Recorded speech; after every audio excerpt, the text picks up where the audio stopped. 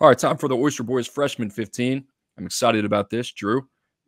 I didn't know we are going 15 deep. I saw the rundown this morning. I said, all right, Drew's getting after it. Got a couple Celsius in him.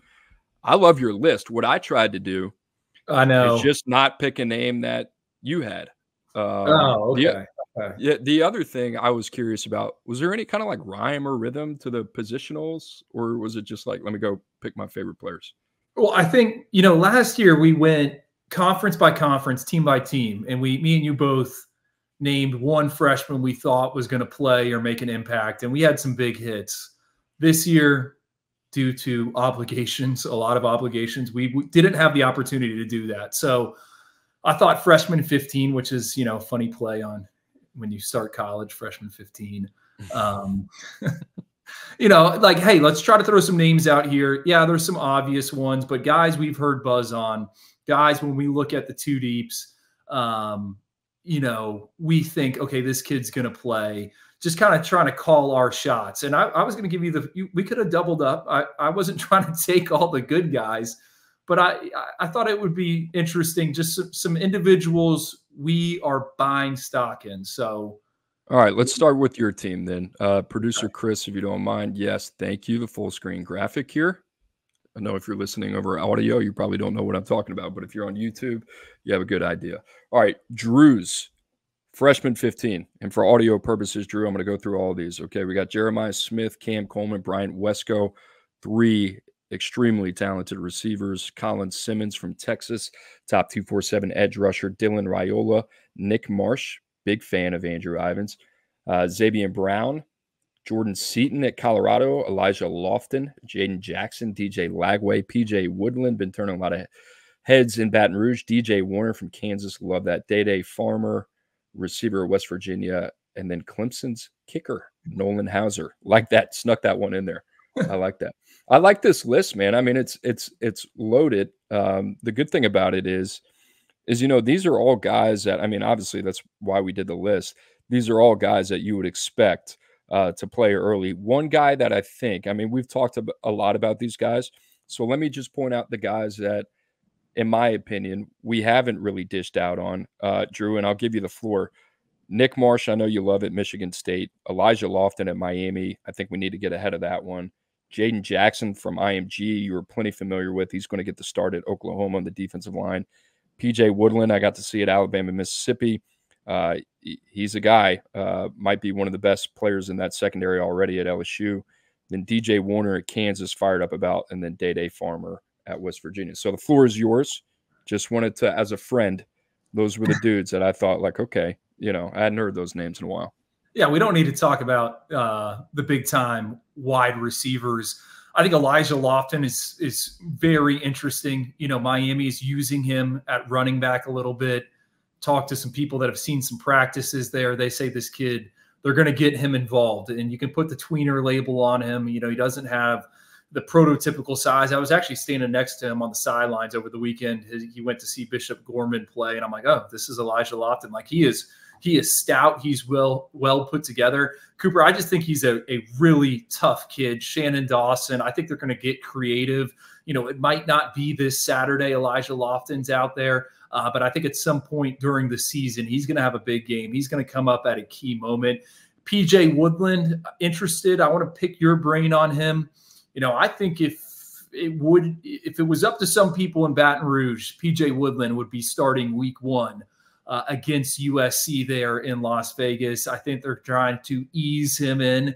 Uh, but I expect by, you know, sep- late September, early October, he's in that lineup. I think there's some people at LSU that think he's the top corner they have on the roster right now. And that might speak to the level of talent. The good news, if you're an LSU fan, Corey Raymond has absolutely loaded up here in the 2025 class. But Coop, I mean, do you remember PJ Woodland? Like you said, you saw him at the Alabama Mississippi game. and he's a three star prospect for us. Hey, three stars are still players. We're not going to get them all right.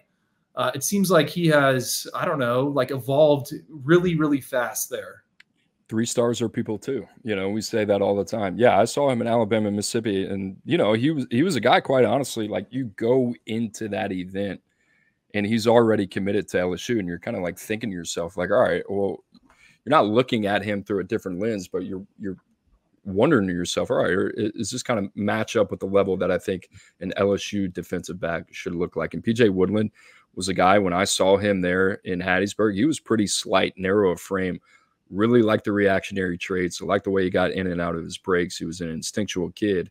Uh, but if you were to tell me that I thought that he would be getting significant snaps in week one against USC in a primetime game that LSU needs to win – I, I, would, you know, I wouldn't call you crazy, but I'd be pretty surprised uh, about that. And I don't know if that says more about PJ Woodland or more about LSU's secondary. My feeling is it says a lot about both. Um, so, you know, Woodland's a kid that I liked. Uh, we'll see what happens and kind of how that turns out. But uh, I know they love him there, and I think from from what we've gathered, I think he's surprised some people in that building as well. Right? It wasn't like, all right, we're going to get this guy on campus and he's going to be in this position. So uh, credit to him a lot. All right, Drew, you ready to take a look at mine? Well, one more. I, I want to highlight one more guy, okay. Jaden Jackson at Oklahoma. Uh, you know, we moved him into the top 247 late after a senior eval. Every time I was at IMG Academy, Jaden Jackson's the guy. Jaden Jackson's guy. He's the alpha. He's the dude which was notable because the person next to him was David Stone, who also signed with Oklahoma, who was also there and is not listed as a starter. So I thought that was kind of interesting. You know, I've been trying to think through that. You know, why Jaden Jackson? I just think it's it's the toughness. I think it's the mindset. Um, he's a go getter. Uh, he's a he's a leader. And then you look at a kid like David Stone, who I mean, his recruiting process, Cooper, it was all over the place. I mean, I remember at one point we were there for like pro day and he wouldn't name the top schools he was considering. It's like, man, you've been going, you've visited Oklahoma, I think 48 times here since you were a freshman. You're going to tell us Oklahoma's not a top school. So uh, that was interesting. Uh, two more Nolan Hauser at Clemson. They had major kicking issues last season. He was my number two ranked kicker. He's going to make a big one at some point. And remember this you're gonna be like Andrew Ivins said it on the 24/7 Sports College Football Recruiting Show. Nolan Hauser is going to hit it, and then the last one, Day Day Farmer, wide receiver for West Virginia. I keep reading uh, camp reports about this guy. You know they they play Penn State. I don't know if it's going to be Week One, but they are excited about him. Late flip from UCF. So those that's that's my freshman 15. I had a bunch of honorable mentions, but we don't have time for that. All right, I like it. I like it a lot. All right, uh, Belchi, let's get to my list. And uh, Drew, I guess, well, hold on. Let me read it uh, for those of you at home uh, listening via podcast. Ryan Williams, Alabama. TJ Moore, Clemson. Ryan Wingo, Texas. Dylan Stewart, um, South Carolina. All four of those guys, five stars, low hanging fruit there. Demond Williams, Love Washington. This. Jordan Ship, North Carolina. Marcellus Williams, USC. Kevin Haywood, Wisconsin. Christian Bentancur, Clemson, William Echoles, Ole Miss, Nate Frazier, Georgia, Jalen Mbakwe, Alabama, Amaris Williams, Auburn, Malcolm Simmons, Auburn. Drew, your thoughts? Any anything stand out to you? Well, you're leaving Terry Bussey off the list. Oh, my bad. Bussey at 15, athlete. You put the specialist there uh, at number 15, so I snuck him in. Yeah, 15, well, he, Terry Bussey. Bussey's not on A&M's depth chart that I read last night while watching The Bachelor. Um, but I about? Think, I think he's going to play, right? Uh, I, I, would hope so. Yeah, he might be a all-purpose type of selection. What what jumps out to me? Talk to me about Demond Williams because I really wanted to put him on mine. I had DJ Lagway, Dylan Raiola on there. I think he is the true freshman quarterback. No one is talking about that could make some uh, big splash. Like if we get to November, let's say, in Washington is, you know, fighting for bowl eligibility. I, I think he's one. They had more roster turnover than the majority of uh, programs around the country. I think that plays into it. Will Rogers there from uh, from Mississippi State to transfer, and I think if they play their cards right, they're in a really unique position to have Will Rogers kind of navigate the first half of the schedule. And then once the expectations kind of drop off in that second half of the season, I think you can start getting Demond Williams some run in a similar way uh, that they did with Noah Fifita there in Tucson and getting his feet wet. So I kind of see the succession plan already in place. I think they're fired up about Demond Williams. I think Demond Williams is kind of a, a special cat, unique in the way that uh, he should be able to kind of handle the pressure of playing earlier. You're not going to rattle him or mess up his mental makeup going forward. So I think um, Jedd Fisch is one of those guys always kind of thinking ahead, big picture wise. And I think Demond Williams is going to get some run. I don't think we're talking about him here in August, but you know he was a guy that was kind of pushing there in the spring. Um, Drew, I like the kid. I think he's a total gamer. I don't really look any further than the success that they had with a similar quarterback in Noah Fifita. I just think it makes way too much sense. Uh, all right, Dylan Stewart. I agree. Like that pick, edge rusher, South Carolina. Now they return some talent there, but did you see Cooper? Josiah Thompson is apparently going to start at left tackle for the Gamecocks. He has he's listed with an or next to Tree Babalade. I guess Shane Beamer said on some radio show Monday night that they're likely going to start a true freshman at left tackle. I'll say this about Josiah Thompson. Saw him at the Shrine Bowl. Technically buttoned up kid, everything you're looking for in a left tackle. He was just lean. Surprised the Gamecocks are going to roll with him if we're being if we're being frank. They might not have an option. I mean, their offensive line hasn't really been that good, you know. Uh, and Josiah Thompson's everything that you want from like a physical trait standpoint outside of the frame a little bit, you know, and that's going to be the biggest thing once they get in the SEC play. How's he going to hold up physically? Because I think he was hovering around 275, 285. Uh, that's a lot to ask of that kid to go into SEC ball uh, and be your corner protector for LaNorris Sellers.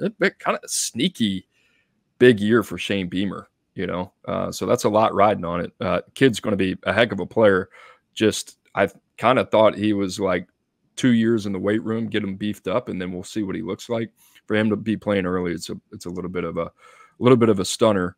Um, but I also wonder how much like the you know the NIL stuff kind of plays into this, right? Like I got an or next to his name. I'm paying this guy a bunch of money, like you said. Like, yeah, we kind of we got to show that we're kind of invested in this dude and he might be ready to play, you know? So I don't know. Uh, um, talk to me about Nate, yeah. Nate Frazier, Nate Frazier, right? I think, I think everyone is going to turn on the TV Saturday. You're going to watch game day or uh, the CBS Sports new pregame show, and you're going to get to that that noon game, Clemson, Georgia. And I think Nate Frazier is a guy that could get a carry in the in the first quarter, right? Yeah, more than that. I mean, I think they're going to have to rely on him, right? I mean, they're they're banged up in that running back room. ETN probably not going to play. Roderick Robinson uh, has been banged up. You got Branson Robinson, who's very different than Nate Frazier, um, and then you got Nate Frazier, uh, who's Mighty Mouse. You know, I mean, I, I, what is he? Drew five eight five nine, uh, but he's rocked up. Uh, run sub 10 7. He can go. You know, he was playing in the backfield last year with Jordan Davison uh, at Mater Dei where Davison was the guy. Nate Frazier was always the guy that your eyes gravitated to. Big play waiting to happen, plays bigger than his frame. Uh, you can utilize him uh, out of the backfield as a receiver as well. Yeah, he's he's a guy ready to play. They're fired up about him in in Athens. Uh, it's going to be a, a big test. You know, his first test coming against a, a like a very very good uh, Clemson defense and, a, and one of the most talented front sevens in the country. Um, neither of us had Luke Reynolds. I feel like that's a disappointment. The Penn State tight end. Gosh, that is a disappointment. James Franklin kind of uh, scared me away a little bit. They're just so good there. Yeah, they're good at that position. You know, I I, I can actually see him uh, ripping off the red shirt. You know, playing six, seven games, um, and then seeing a lot more well, of them as a sophomore is there any point in redshirting these kids these days?